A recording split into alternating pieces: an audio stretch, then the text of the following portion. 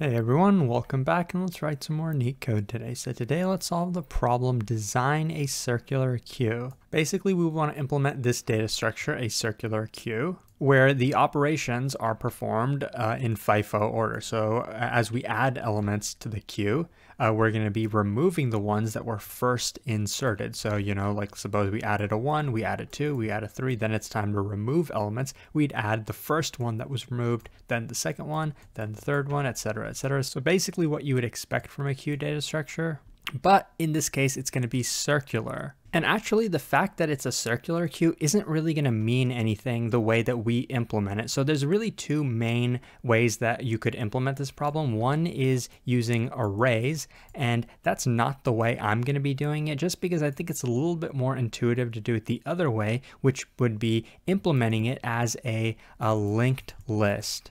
I think it's just a bit more intuitive to do it this way. I think it's slightly more code, but it's also slightly more efficient because with an array, you're going to have, uh, you know, the, the size of the queue is going to be an input parameter we're given, which is k. We're going to have to create an array of that size, but with linked lists, we don't really need to do that. We only need as much memory as there are elements in the queue at any given point in time. But just to give you kind of an idea of how it would go with an array, suppose, you know, k equals 3, then we'd have three elements. So our array would be of size 3. Let's say we add a 1. Okay, then we add a 2. Then we add a 3. And then when it's come to pop an element, of course, we're going to pop from the left side. So, okay, we remove there. But now it's time to add another element. Suppose we want to add the value 4. Well, there's no space over here, but there is space over here. So we would add the 4 over here. And that's where the idea of a circular queue comes from because now we can add at the other side of it. But you're probably thinking now, if we have to pop an element, are we going to pop the 4? Because that's not FIFO, right? We should pop the 2. And yes, we are going to pop the 2 if we have to pop a value. The way we're going to implement this, by the way, would be uh, with two pointers. So the first pointer would be, you know, the uh, front of the queue and the other uh, would be the end of the queue, the, the rear of the queue, I guess. It, the rear would not be here in this case. The rear would actually be 4 because 4 is the last value that we just added. So, you know, let's say we pop the 2 now. Okay, we pop the 2. Then we would say that this is the front of our queue now. Uh, now, if we wanted to add a queue, so this is no longer the front, the rear of our queue is still over here. If we wanted to add another value, we'd add it after the rear, so we would add the value over here now. So that makes sense, and it's not too difficult to implement it this way but we are going to be implementing it slightly differently. We're going to use a linked list. So let me show you how to do that. So first, let me actually run through the operations that we're going to implement, and then I'm going to show you how we can efficiently actually implement those. So we're going to initialize the circular queue with a limited size of k. That's the max number of elements we can have in it. Uh, we're going to have an operation front, which is going to, uh, let's say that this left side is the front of our queue, and let's say the right side is the rear of our queue. Front is basically going to return what value is at the front of our queue, if one exists. If it doesn't exist, we would return negative one. Similarly, on the rear of the queue, we want to get the value of it. If it doesn't exist, we can return negative one. enqueue is going to be the operation that adds a value to the end of the queue. This is the end of the queue, the rear of the queue. This is where we're going to be adding values to. And uh, if we are, if we have enough space to add a value, we're going to add it right here, and then we're going to return true. If we don't have enough space, we're going to return false. Similarly, with dequeue is where we remove elements. We're going to remo remove elements uh, from the front of the queue over here. If there is an element for us to remove, we're going to remove it and return true. If there's no elements to remove, we're going to return false. Is empty and is full are actually helper functions pretty much for us. We can actually use these functions for the enqueue and dequeue operations. So is empty is basically going to tell us, are there any elements in our queue? If there's not, we're going to return true. If there is, we return false. Similarly with is full, if we have no space left, we're going to return true. It is full. If we uh, have space, we return false for that. So knowing that, we clearly know we're going to be needing to interact a lot with the front of the queue and the back of the queue. So the easiest way to do this, as I've shown, is using a couple dummy nodes. If you're not familiar with dummy nodes, it's basically just to remove edge cases, right? As we add values to a linked list and remove values, we run into a lot of edge cases. What if the linked list is empty? Well, what if it has one value? What if it has two values? What if the node we're looking at is in the middle of the linked list or at the end of the linked list or at the front of the linked list? There's a lot of edge cases. Dummy nodes remove those edge cases for us because uh, a left node is our, our dummy node on the left, right is always going to be the dummy node on the right. So therefore, any value that we add or remove from the queue is always going to be in the middle of the queue. Therefore, we don't have any edge cases. And also, these nodes could be singly linked list if we wanted to, but we're going to make them doubly linked lists because as you can see, we're going to need to be reading values from here and also values from here. So we're going to need the second pointer. Okay, suppose we wanted to add a value now. Well, we would just create a new linked list node.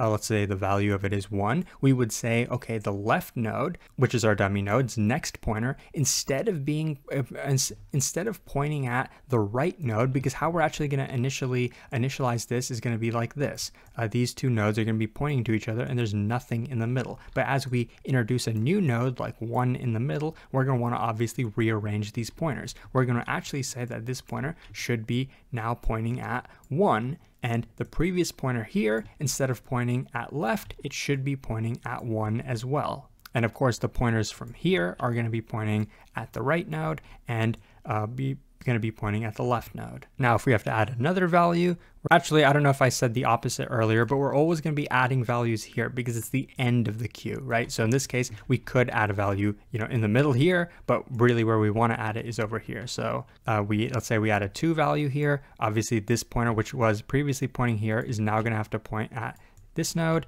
Uh, this pointer, which was pointing at this one, is now going to have to point at this node as well. The pointers of this are going to be pretty simple next, and previous. And the rest of the operations like is empty, is full are going to be pretty simple for us. For is full, we're just going to keep track of a counter if we have reached our capacity of values then this function will be easy to determine. For front and rear, the way we've implemented this solution, it will be very simple. So right now, if we wanted the front of the queue, we would just look at our left uh, pointer, look at the next node, and then take the value of it. Of course, only if the value existed. If it didn't exist, we return negative one. So in this case, we would return one. If we wanted the rear of the queue, we do the opposite uh, with the rightmost node, look at the previous node, take the value of it, and then return two. Now, the last operation, the interesting one that we haven't looked at is dequeue, where we're going to have to remove a value. This is a mostly straightforward linked list operation. So we know that the node that we're going to have to remove is going to be over here. But before we even remove a node, we would want to make sure that our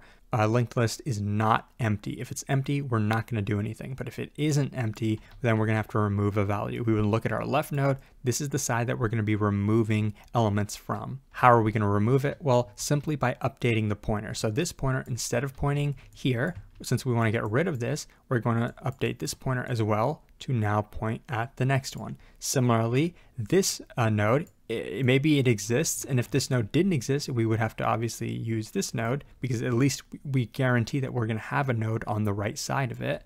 But in this case, we do have this node. What we're going to do is uh, want to update the previous pointer because this node doesn't exist anymore. So we can get rid of this and swap it to be over here. So that's pretty much the entire uh, operations that we're going to be implementing. It's pretty easy as long as you use a doubly linked list and you have a dummy pointer on the right and a dummy pointer on the left. So now let's code it up. Okay, so now let's code it up. And uh, this is basically, you know, the data structure that we're given, but we know that we want to have a linked list node, a doubly linked list node. So I'm going to call it list node and the constructor in this case is going to take a couple inputs. So self is just a reference to the variable, the object itself. K is going to, or not K, value is going to be the value of the list node. Next is going to be the next pointer of the list node and previous is going to be the previous pointer of the list node. So we're just going to basically save all three of these values in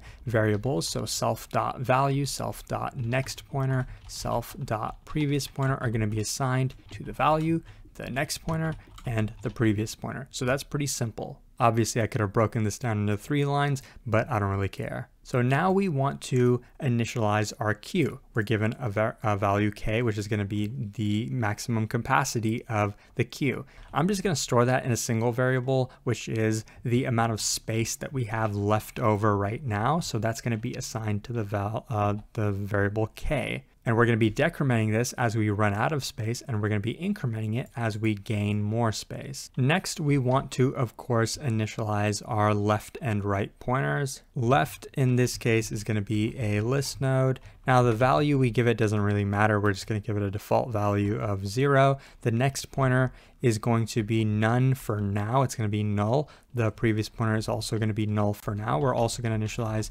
the right pointer, which is also going to be a list node, a default value of zero. Now the, the next pointer of it is going to be none. Uh, but the previous pointer we can say is going to be self dot left because we've already initialized the left pointer. That's going to be the previous uh, node from the right. Also, we want to make sure that the next node of the left is also the right node. So let's do that with the line below self dot left dot next is going to be the right pointer. So now we've basically initialized a doubly linked list of two dummy nodes. So for is empty, we know that it's empty if there's no values in the node. Basically, if only the left and right dummy nodes exist. How do we know if those are the only nodes that exist? Well, we can literally check that. We can check left dot next is equal to the right node uh, the right dummy node. If that's the case, then these are the only two nodes that exist. So that we know for sure it's empty. We technically don't even need the space variable in this case, but the space variable is going to come in handy for the is full operation. We know that it's full if there's no more space left. So basically if uh, self.space is equal to zero, in that case, we can just return that. Okay, so those were the easy ones. Now let's get to slightly harder operations like front and rear. So how do we get the value at the front of the queue? Well, first we have to make sure that it's not empty because if self dot is empty, if the queue is empty, what are we going to return? Well, they told us to return a default value of negative one. But if it's not empty, then we're going to return uh, self dot left, right? The next node from the left and then return the value of it. Similarly, for the rear of the queue, we want to make sure first that it's not empty, and then we want to return the uh, the rightmost value. So we're going to say self.right, and we want the node before the right node, so self.right.previous, and the value of it. So we've almost finished this uh, entire problem, but now we just have to take care of the hard ones like enqueue and dequeue. So adding a value to the queue can only be done if there's enough space. So if self dot space is equal to zero, that means we don't have enough space. So then we have to return and we have to return false because we couldn't successfully complete the operation. But if there is space, then we're gonna add it to the right side of the queue. So first we're going to actually create a list node. So let's do that. The value of the list node is going to be value. The next pointer of the new node that we're creating is going to be self dot right, the rightmost node. What's going to be the previous pointer of the new node that we're creating? It's just going to be the current node that's to the left of the right node. So we could also say self dot right dot previous. That's going to be the previous uh, pointer of the new node that we're creating. So we created this node. Let's assign it to a variable called cur for now. And now we just want to update the pointers of the node that's to the right of it and the node that's to the left of it. So we want to say, first let's start with the left node and you'll see why I'm going to do that. Uh, so self dot uh, right dot previous, we want its next pointer to be pointing at uh, the current node now instead of pointing at the right node. So literally we're just going to do this. Remember, this is the node that's to the left of cur, and we're setting the next pointer now equal to cur. And after that, we also want to update the value, the node that's to the right of cur, which is self.right, and we want to say self.right.previous is now going to be equal to cur. You can see why I did these two assignments in this order, because if I did this one first, then uh, you know, this operation would have been different. This would not have been updating the node that's to the left of cur. And if it's kind of confusing, I would recommend drawing it out uh, yourself just to confirm. After we've added a value, we can go ahead and return true. But before we even return true, we also want to make sure that we update the space of the queue. So self dot space is going to be decremented by one. So that wasn't too bad and we only have one operation left, dequeue. So before we dequeue, we wanna make sure uh, actually, before we even do that, I realized uh, here we checked if space was equal to zero, but we technically did that in our is full function. So just to kind of make this a little bit cleaner, let's just actually reuse that function that we already wrote. So if is full, then we can return false. Now we want to remove an element now. We can't remove an element if our queue is empty. So if is empty, we're going to return false because we can't complete this operation successfully then. But if it's not empty, then we can remove the node and we want to remove the node that's on the left side. So we can do that pretty simply by saying left dot next. Uh, instead of pointing at the next node, we want to actually point at the node after that. So we can literally uh, do something like this. It's going to be quite a lot of chains. So self.next dot next. We're basically shifting that next pointer to point at the node that comes after it.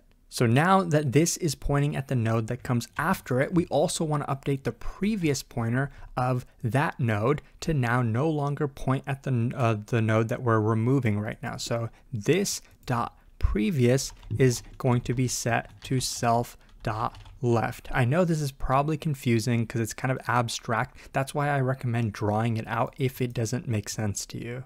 And remember, if we remove a element from our queue, then we have to increment the space by one because there's a new free space and we can return true to say that the, the dequeue operation was successful. So that is the entire code. I know it's uh, pretty long that it doesn't even fit on one screen, but the bottom stuff is pretty straightforward. It's really these enqueue and dequeue functions that's difficult and the constructor, but let's run it to make sure that it works. And as you can see on the left, Yes, it does, and it's very efficient. So I really hope that this was helpful. If it was, please like and subscribe. It really supports the channel a lot. Consider checking out my Patreon where you can further support the channel, and hopefully I'll see you pretty soon. Thanks for watching.